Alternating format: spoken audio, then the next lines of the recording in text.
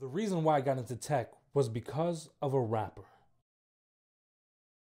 I was 30 years old at this time, and I found myself kind of like at a fork in the road. I've been working in a gas station for over 10 years, frying chicken every day, and I, I was tired of it. And I said, I'm at a fork in the road where if I go right, I'm to be in this gas station until the day I die.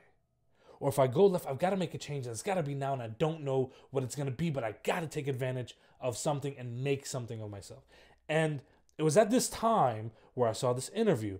This rapper invested $7 million into a tech company. He's giving an interview about this, and the interviewer asked the same question Why are you doing this? And he says, I'm learning how to code. Now, this blew my mind because I never knew someone from my kind of background could ever learn how to code. I thought coding was for the PhDs and the rocket scientists of the world. I don't think an average individual could ever learn this. The reasoning that I came up with was profound.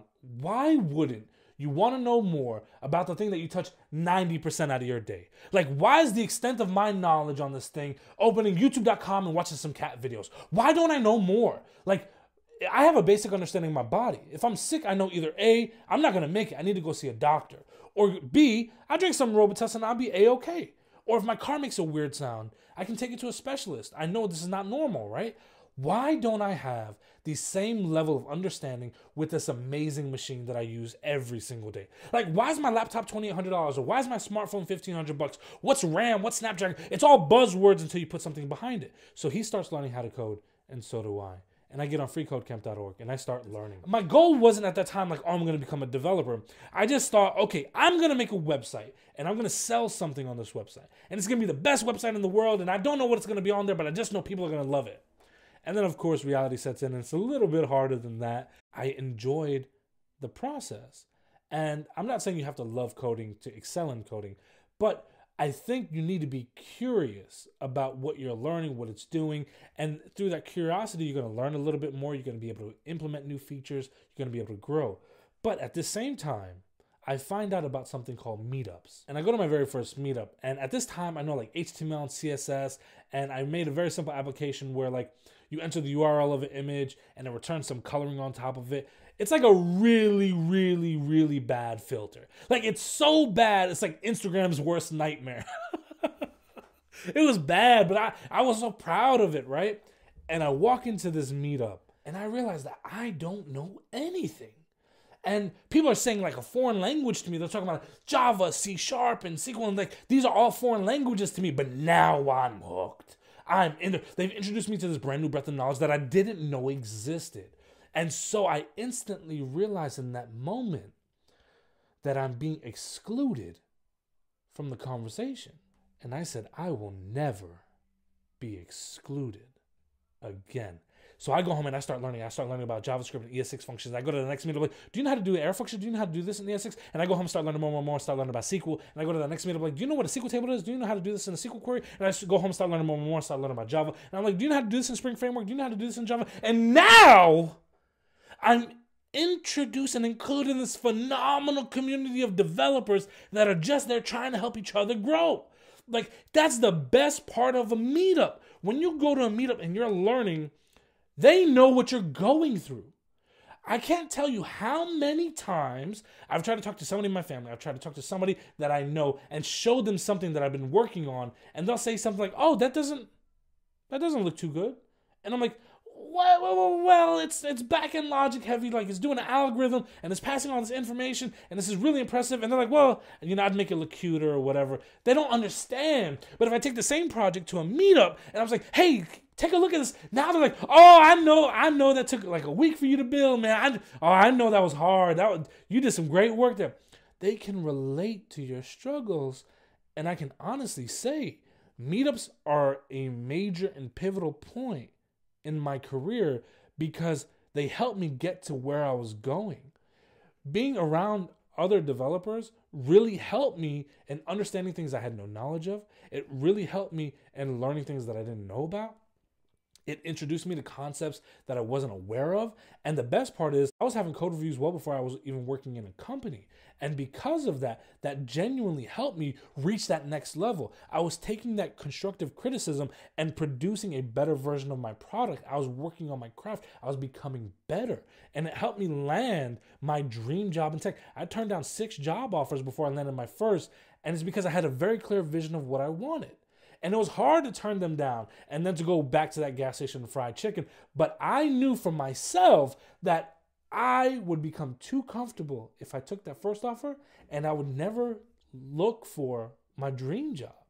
I had a very clear vision of what I wanted and I ended up finding it. This is a perfect opportunity to put a like on this video. It helps me out with the YouTube algorithm. The biggest key for me, honestly, was creating a LinkedIn profile. And I was so terrified of that because even when I felt at these meetups, you know, my nickname was Popeyes, right? Because I would walk into a meetup, I'd work 80 plus hours a week at the gas station. And I would wait until the very last minute and then I would rush to a meetup straight from work. And within 20, 30 minutes, the entire room would smell like fried chicken because I just came from work. And so people would call me Popeyes, uh, chicken man, things like that. And it instantly gave me so much more imposter syndrome. I'd play it off but I was like, these people have gone to colleges, they work in offices, they've got a head start ahead of me so significantly high. There's no way I'm going to be able to bridge that gap and get close. I don't compete with them. Like, how can I compete? I don't have a degree. I don't have the experience. I don't work in an office. Like, there's no way I'm on a level playing field. And it was at this time I created a LinkedIn profile. And I was terrified to send a message. And I said, the chances of these people that work in these Fortune 500 companies and these big office buildings walking in my gas station are zero. The only way I will ever see them in public is if they invite me to their office. So if I send them a message and they say no, what's the worst that can happen? I will literally never see them in my life. They will literally never enter my life it's impossible. And in the beginning, everybody's like, "Who is this Danny guy?" And I'm like, "Oh, I love Danny. I knew Danny from the beginning." LinkedIn is so powerful. I ended up creating a hiring network. I created I I was laser focused on the people that were I was adding to my network. There were hiring managers, recruiters, and decision makers for businesses and software developers. These were people that I was trying to get information from on how to thrive in this business, whether it's employment wise, development wise. Slowly but surely, I developed these very real connections with them, many of which I'm still friends with, still have very great relationships with to this day. I can't tell you how vital a strong network is. Haven't you noticed some of the most successful people in the world have a great network that they can tap into? It's not the fact that they're tapping into random people. These are relationships that they built. They've communicated, they've cold called, they've talked with don't underestimate how valuable a relationship can be. Because I can tell you right now, I have more opportunities thrown at me than I've ever applied for.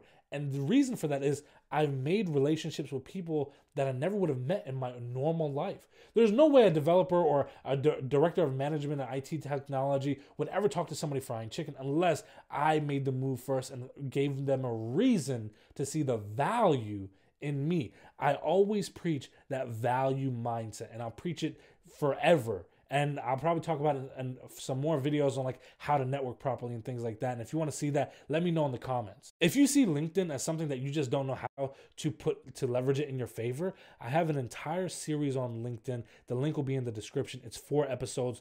I literally interview four hiring managers to see what they look for. We go over like 40 profiles. It will genuinely change your life. And the last month alone, I got over 40 messages from people starting their first jobs in tech because of that series.